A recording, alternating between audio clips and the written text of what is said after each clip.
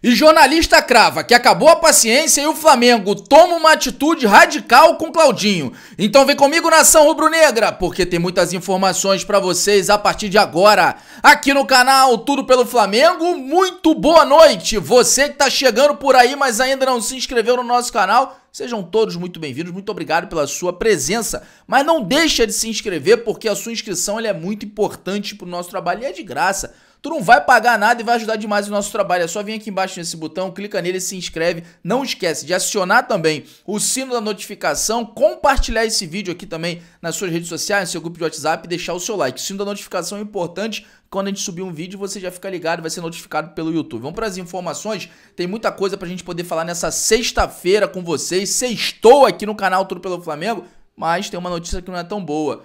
O Bruno Henrique está fora de Flamengo e Atlético Goianiense. O Flamengo se representou hoje para treinar e se preparar para o jogo de domingo contra o Atlético Goianiense, jogo importantíssimo aí pelo Campeonato Brasileiro, vigésima rodada. E aí, o que que acontece? O Bruno Henrique está se recuperando aí de lesão. Parece a, a lesão dele no, no, no, no tornozelo direito foi, foi, foi mais séria do que a gente imagina, né? Porque a, a Mônica Alves trouxe a informação que o atacante nesta sexta-feira fez trabalhos no campo junto à equipe de fisioterapia e está encaminhando para a transição física. Ele evoluiu, porém, todavia, entretanto, vai continuar fora e desfalcando o Flamengo em mais uma partida. A informação da Mônica é que o Flamengo trabalha para que o camisa 27 volte o mais rápido possível. Porém, ele ainda é dúvida para o jogo contra o Palmeiras, inclusive na quarta-feira pela Copa do Brasil.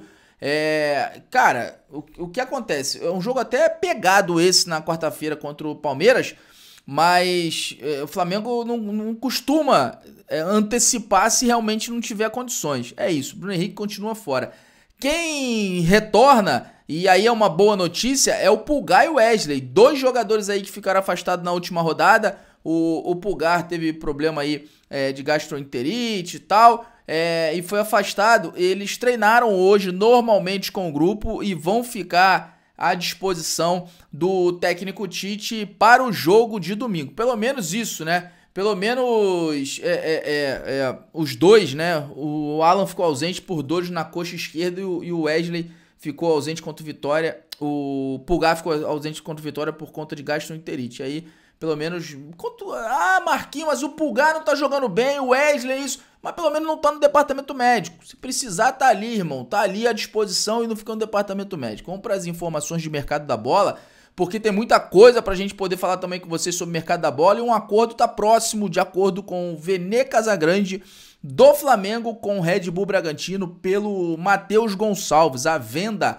do Matheus Gonçalves. Recapitulando, o, o Bragantino fez uma proposta pro Flamengo é, de 5 milhões aí de euros por 50% dos direitos econômicos do jogador. O Flamengo negou essa proposta e aí foi cozinhando, cozinhando, cozinhando. Depois o Bragantino retornou, insistiu, né, vendo que o Matheus Gonçalves não está tendo tanta oportunidade com o técnico Tite, insistiu e voltou a, a, a procurar o Flamengo pelo Matheus Gonçalves. Só que aí voltou a procurar, aumentando o valor pra, de 5 para 6 milhões de euros mas querendo 70% dos direitos econômicos. O Flamengo falou assim: não, tudo bem, beleza, a gente faz negócio, só que 6 milhões de euros por 50% dos direitos econômicos. E aí ficou amarrado essa situação aí do, do Flamengo é, é, com o Bragantino, mas parece que o negócio está caminhando. O Vene Casagrande trouxe a informação que está muito próximo do Flamengo vendeu o Matheus Gonçalves pro Bragantino, se acertando então aí o Flamengo com o Bragantino pela, pela por essa venda. Vamos aguardar para ver o que, que vai acontecer sobre valores, tempo, isso tudo, aquilo outro,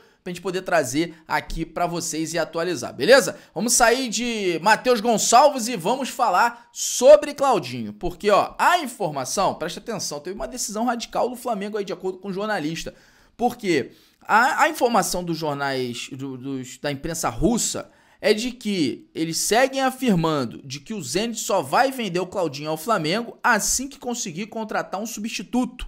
E o clube estava muito perto de contratar o Ivan Illich do Torino, mas o governo russo bloqueou o acordo devido às sanções econômicas, temendo que a transferência pudesse atrair a atenção da União Europeia. Então travou essa situação e aí o Zenit continua fazendo jogo duro com o Flamengo. O Júlio Miguel Neto, jornalista que, que tem um canal é, no YouTube também, o Rubro News, né? E ele trouxe a seguinte informação: presta atenção, que realmente a paciência do Flamengo acabou em relação ao Claudinho. E ele traz a seguinte situação no Twitter dele: parece que a novela Flamengo e Claudinho chegou ao fim. Após semanas de negociações entre Flamengo e Zenit, os clubes não chegaram a um acordo. O rubro-negro, até o momento, se retirou da negociação. Presta atenção, até o momento, pois não pretende fazer loucuras econômicas. O, o que acontece? O Flamengo fez uma proposta né, de 18 de 15 milhões de euros, o Zenit negou, o Flamengo voltou com 18, o Zenit aceitou essa proposta, o Flamengo aumentou a cota, só que o Zenit aumentou mais ainda. E aí, de acordo com Júlio Miguel Neto, a paciência da diretoria do Flamengo teria acabado em relação a essa negociação e o Flamengo teria se, retirar, se retirado aí da, da negociação da contratação do Claudinho. Lembrando, isso pode fazer parte da estratégia do Flamengo também. Ah, é, é isso mesmo, vou sair, não quero mais, vou atrás de outro jogador, e aí faz com que o Zenit, opa, veja que o jogador está insatisfeito faz com que o Zenit olhe e fale assim, pô, Claudinho quer ir pro Flamengo, que ele já afirmou. Vene Casagrande já trouxe a informação duas vezes que negou, que ele negou uma, uma renovação de contrato. E aí o Zenit pode olhar e falar assim, pô, a gente vai ficar com um jogador insatisfeito? Ô, Flamengo, vem aqui, vamos negociar. Isso também pode fazer parte da estratégia do Flamengo para agilizar um pouco mais essa negociação. Mas de acordo com Júlio Miguel Neto, o Flamengo teria tomado atitude neste momento, neste momento, de sair das negociações com o Claudinho. É o que eu falo, galera. Mercado da bola, a verdade de hoje é a mentira de amanhã. A gente tem que estar tá ligado, a gente tem que estar tá atento, a gente tem que estar tá prestando atenção dia após dia a evolução das situações. É por isso que a gente vem aqui para trazer as informações para vocês. Hoje a informação de momento é essa, amanhã pode ser outra. E a gente vai atualizando, por isso que tem que estar tá ligado aqui sempre com a gente que a gente vai atualizando tudo que vai acontecendo. Então, ó, muita água vai rolar por debaixo dessa ponte. Mas quero saber a sua opinião, comenta aqui embaixo sobre essa situação aí é, do Flamengo com o Claudinho. Ó, nosso adversário, o Palmeiras, nas oitavas da Copa do Brasil, tem uma informação interessante e importante para o torcedor rubro-negro. De acordo com um jornal, com o GE, né, o Globo Esporte, o Palmeiras está preparando a volta do Estevão, Mike e do Murilo para o primeiro jogo contra o Flamengo na Copa do Brasil. Ou seja, os caras estão aí querendo se preparar de qualquer maneira para enfrentar o Flamengo. Vamos falar agora sobre o, a questão do Carlinhos, hein, que participou hoje do programa é, Craque do Jogo no, na, na Flá TV e deu uma declaração importantíssima sobre o Davi Luiz. O Carlinhos falou sobre Davi Luiz e sobre o zagueiro novamente está sendo muito importante para o Flamengo. Depois do Rodinei, né? Depois de jogadores da base do Mengão, agora o Carlinhos. Olha o que o Carlinhos falou. Abre aspas. Um cara de Deus é, colocou, um cara que Deus colocou no meu caminho para me ajudar.